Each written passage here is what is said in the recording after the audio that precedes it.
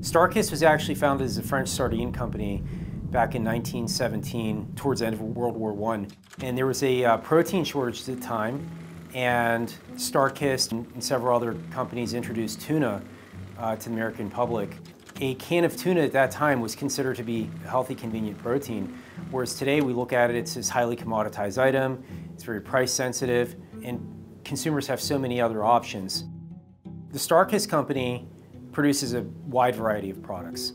Um, we pack dozens of different pouches. It's about 40% of our business.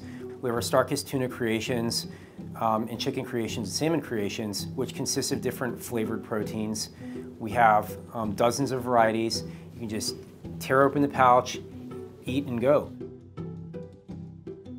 Starkist Company produces approximately 80% of its products, pouches and cans, in American Samoa. American Samoa is a U.S. territory and we're packing the product right at the source. So we're catching the fish there, bringing it in, and packing it. Whereas a lot of our competitors are um, catching the fish, freezing it, sending it around the world to be packed. So Charlie has attracted consumers for many years. He has his fans who remember him from the television commercials that ran for decades, and he's back on TV now. And we talk to younger consumers who don't even necessarily know who Charlie is, and we ask them if they like tuna, and a lot of them say yes. And then we ask them, well, what brand do you buy? And they'll say Starkist, or they might say the one with the blue label, but many of them say, I like the one with Charlie on it, or the one with the blue fish on it. I think Starkist changed significantly. We were predominantly a shelf-stable tuna company. Now, we evolved our company from a tuna to convenient ready meal company. With that strategy, we were able to launch many different products and out of 50 different SKUs, actually 48 of them are still selling in the stores. So before, when we defined Starkist as a shelf-stable tuna company, it was very hard to innovate and be creative. But once we defined us as a company that empowers people to live a healthy lifestyle, then we were able to branch out and expand into other product categories, such as salmon, chicken, and from a boring tuna in water or oil to many different flavors. And now we even have a microwavables that people could easily uh, consume in their home at any time. Sustainability is very important because still the fish is the main source of our raw materials. Recently we announced that we are going to purchase 100% of our fish from sustainable fisheries, such as MSC, MSC in Assessment, or Fishery Improvement Project. I think what's important for people to know about the MSC is, and we're a nonprofit organization that's been around for more than 20 years. We develop a standard for sustainable fishing, but we don't do that in a bubble.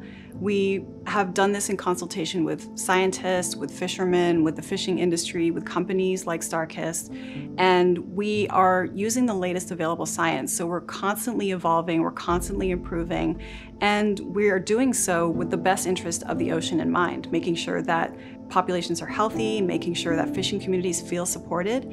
And so it's really a way for us to make sure that we're giving back. Consumers today are much more aware of sustainability and much more conscious about the products that they're purchasing. As a company that values the quality of our products and values that our products are wild caught, we also have an obligation to be good stewards of the environment, make sure that the things that we're doing aren't detrimentally impacting the oceans and the ecosystem. So not just being a member of Starkist, but also, um, you know, being someone who eats and enjoys seafood and a person that lives on this planet, I'm really proud of the work that, uh, that I'm doing with Starkist to make sure that we're protecting the health of the oceans, making sure that we're doing things responsibly. I've been CEO since 2014. The first thing that I worked on with the team was creating a vision statement that we could follow and execute our strategies. Stark has been around over 100 years. Initially, we've been very successful as a company because we had a purpose, which were we provided healthy and affordable food to people. That purpose, which helped Starkist to be very successful in the beginning, was not enough for us to be a relevant company in this day and age. So we came up with a vision statement, which is socially responsible company that empowers people to live a healthy lifestyle.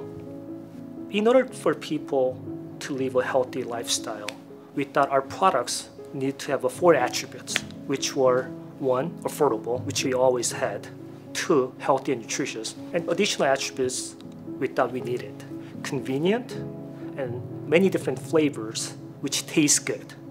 So our success rate has been tremendous.